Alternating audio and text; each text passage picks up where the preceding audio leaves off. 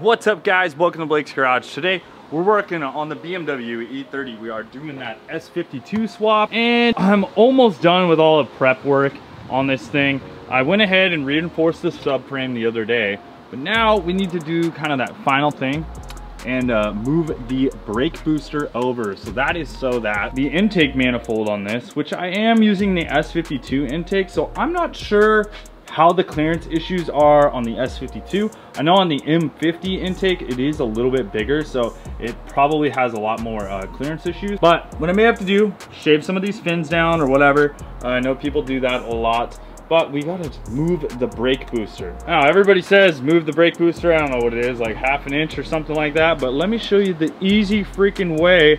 Look at this. See what this is? This is a template from uh, Race German. He is 3D printing these bad boys. I will put a link down below. Makes it super easy.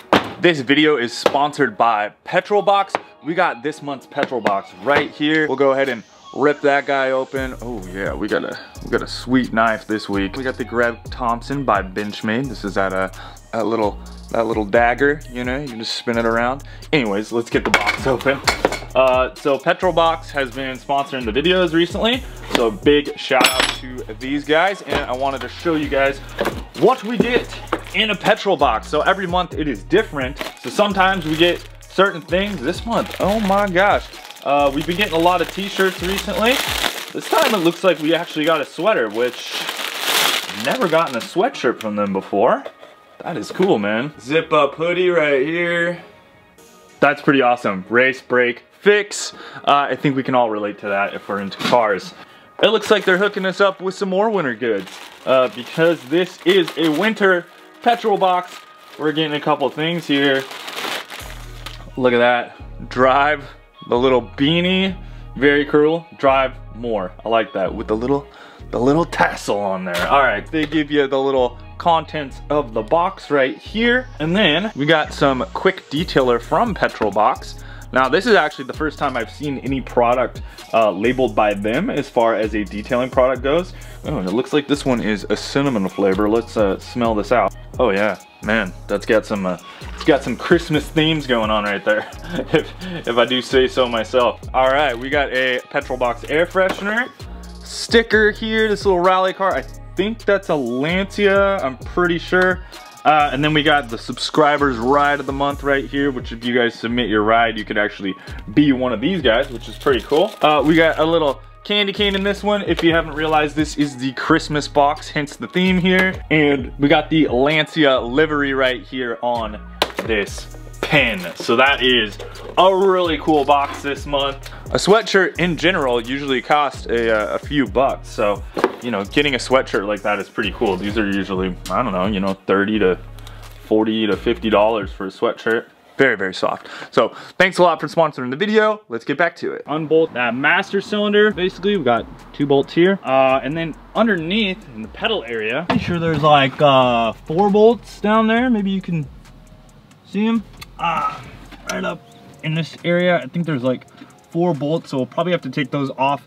They are all around the uh, brake area because this goes right through to the little clevis right here. I don't know how tight I can get in there, but uh, to show you guys, but trust me, it's right there. So we're gonna go ahead and undo those bolts and we gotta re-drill that spot. Now, I know that sometimes you have to end up like um, welding on a little extra piece there, try to connect it back up. There's a little spring right here, it goes on that little pin, all right? That's a little clevis there.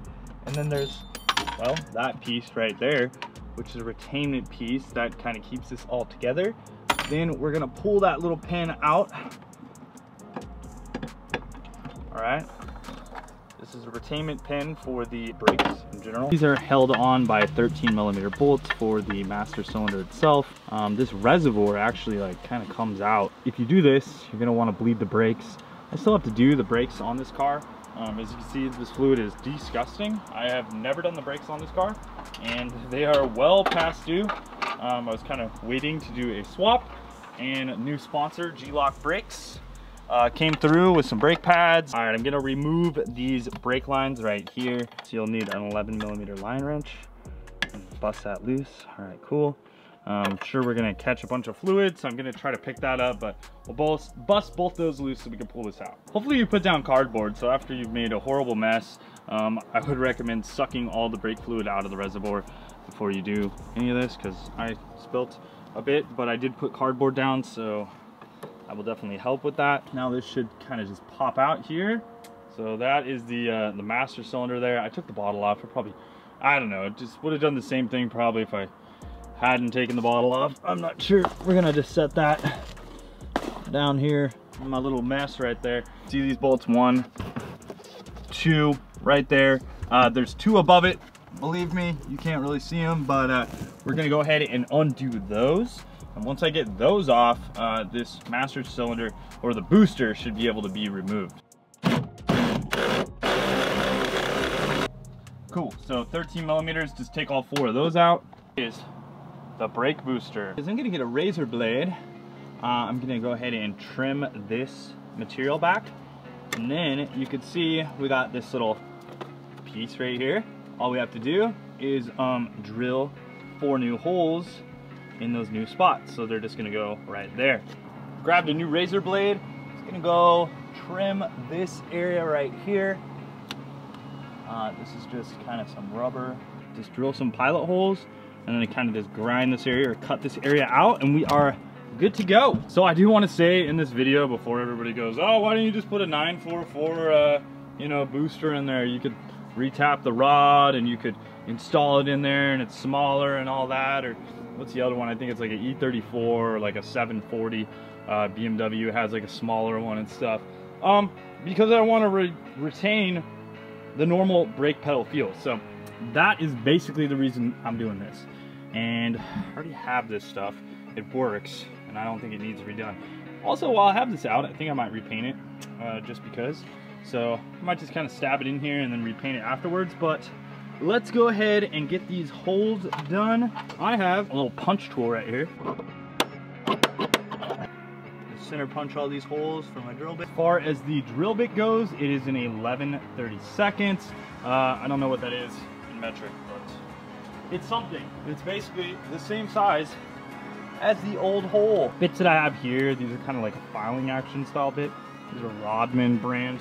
Um, I tend to like these for metal, they're kind of cool.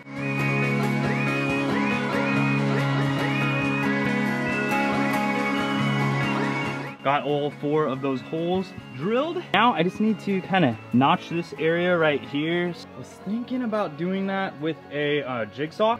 I went and bought a new blade for this jigsaw. I'm gonna try to uh, cut that little area out over there.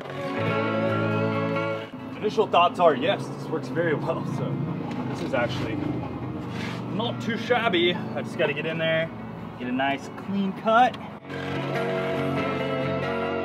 That worked pretty dang good. Looks pretty dang clean too. So I think that is going to be perfect. Uh, let me go ahead and put the booster up there and see how it looks. Ever so slightly. I think I need to bore out the backside of this hole. That'll be good. It is really good fit, so it's pretty dang easy to do it this way. All right, so I drilled a hole at the top of the top right little booster piece. Had to do that so the nut will slide through. So now hopefully this should slide on without issue and I should be able to get a nut on there as well. Now we're on to clevis modification time. What I need to do is make basically an extra little leg here and drill a hole through it. Now, I'm gonna need a welder, I'm gonna need something to cut some steel. Went ahead and just picked up some 3 16 plate because you can see here, that is the same size material. So I'm gonna be welding on basically a third leg, have the same gap that you're seeing right here. Um, also, we'll put a little bit of steel in between it to space it out, so kind of like this little area. And we're going to have to weld that up. So I'm going to use my Multimatic 215. I think, we'll see. I'm either going to take it or make it. I don't know. One of those two. As far as the first piece goes, just went ahead and traced this out. I'm to try to cut on the line.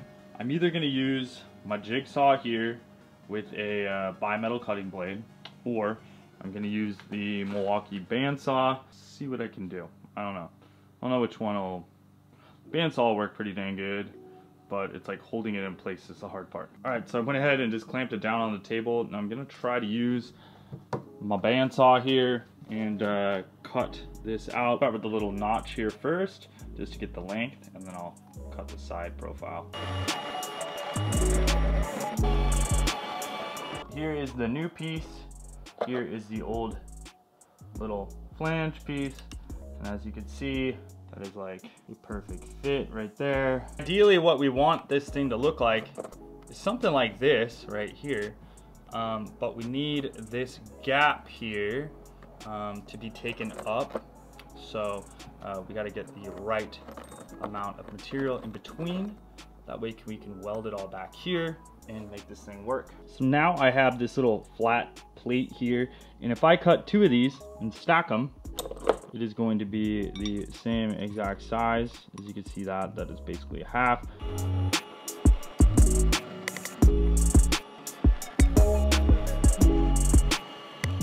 So real quick, before I cut this totally off, I'm just gonna go ahead and clean up the metal. Gotta turn my camera away so I don't screw up the lens.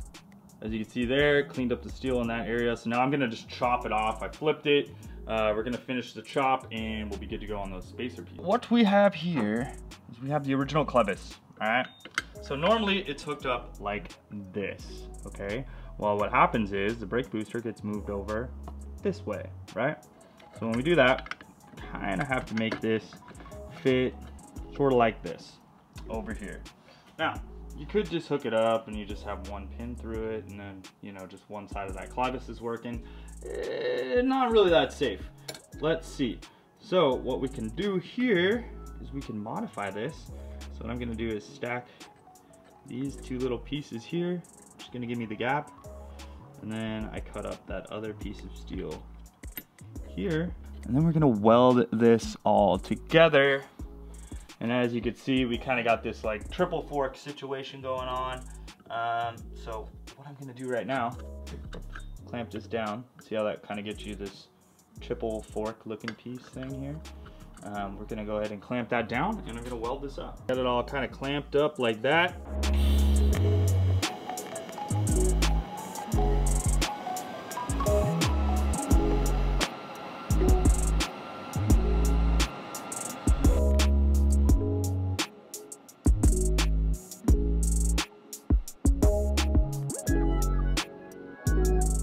That's welded up right there on that side.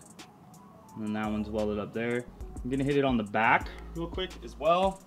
Um, just kind of tigged it up. Yes, it's hot, very hot. Uh, so let's kind of finish that off.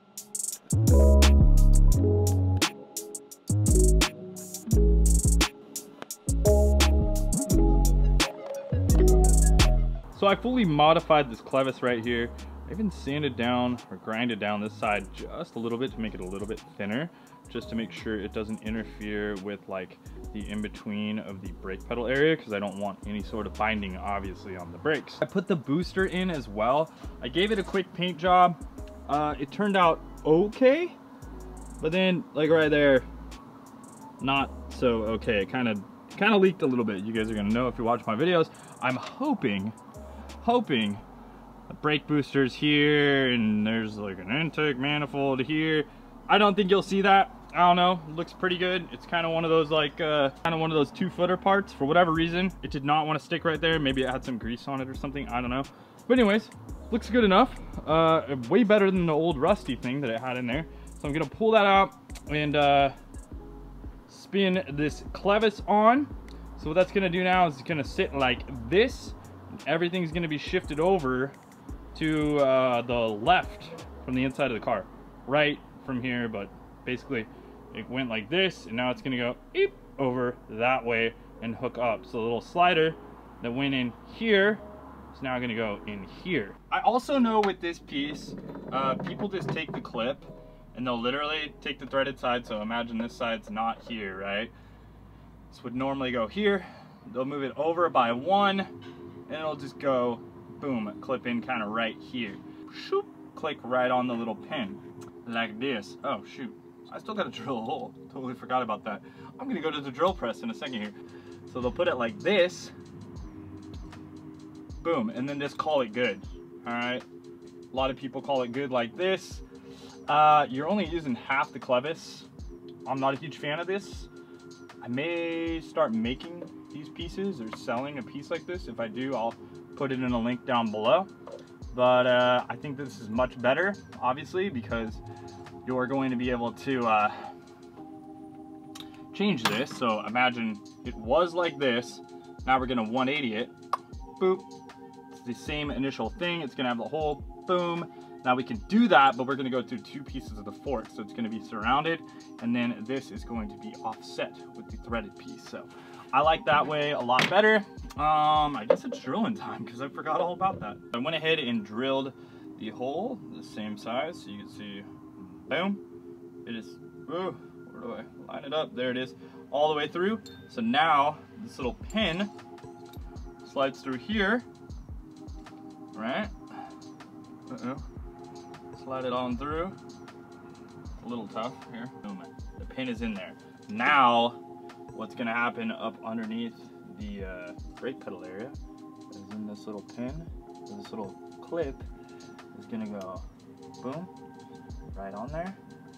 And now it's gonna be offset.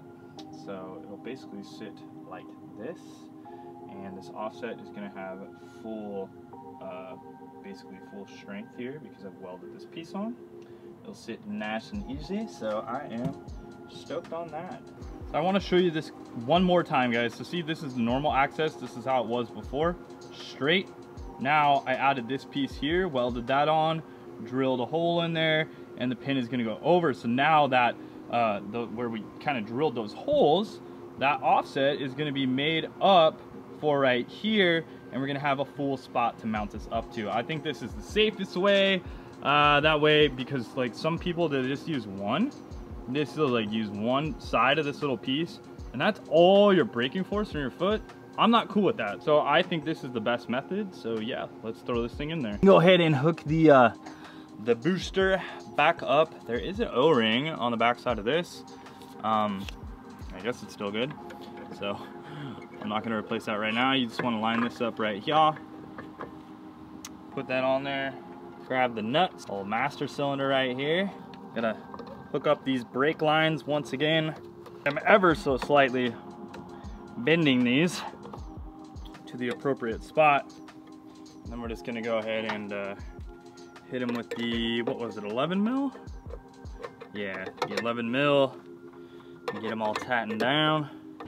Off the firewall, this is for the uh, power steering reservoir. This is not gonna be here anymore. Actually goes on the uh, motor mount on this particular engine. Plus the fact that I'm gonna be using the uh, Chase Bays stuff as well. So that is gonna clean this up quite a bit and get it looking very nice. Here's that pin. Here is the brake pedal lever. And there's that clevis.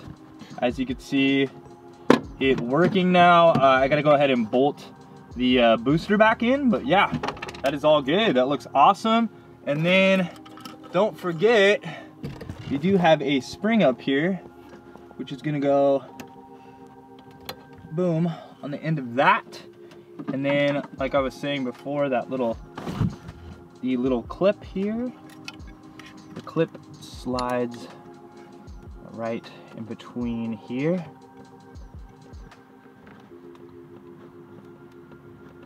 Boom, solid piece, that is awesome and we are good to go pretty much on the brake pedal. Let's just bolt that down. Cool guys, I hope you liked that little video on the brake booster uh, relocation. Fairly straightforward. Uh, you do have to do a little bit of modification. You could do it the easy way where you're just relocating the holes, uh, or you could do it the harder way, which I think is a better way, and weld on that little piece and modify it. So thanks a lot for watching guys. We'll talk to you soon, later, and wrench on.